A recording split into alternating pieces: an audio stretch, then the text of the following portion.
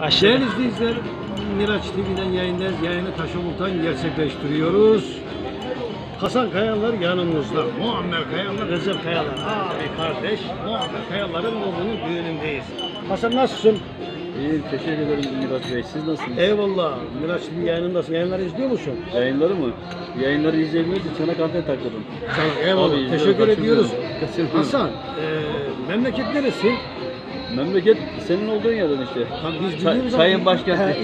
Ben öyle klasik klasik cevaplar vermem biraz. Ben, ben çayın başkentindeyim. Başkenti, Tamam bilmem öğrenmesin. kömürcüler. Öyledir. Hasan Kayalar kaç yaşında?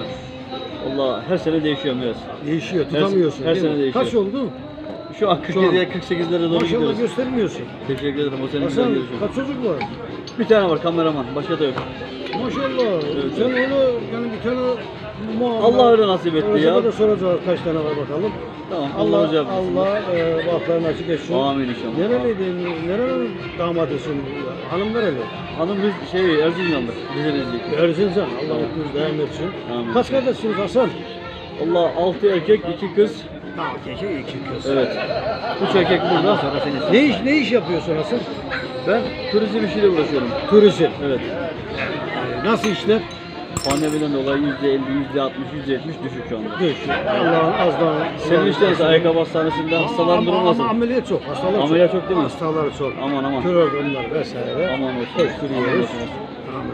Peki ileri, ileriye dönüp neler düşünüyorsun? Neler yapmayı düşünüyorsun? Vallahi Dijital bakalım. platformlara geçmeyi düşünüyor musun? Zaman, zaman neyi gösterir bakacağız. da. Öyle mi? Hasan, şairlik var mı sende? İyi horon oynarsın da.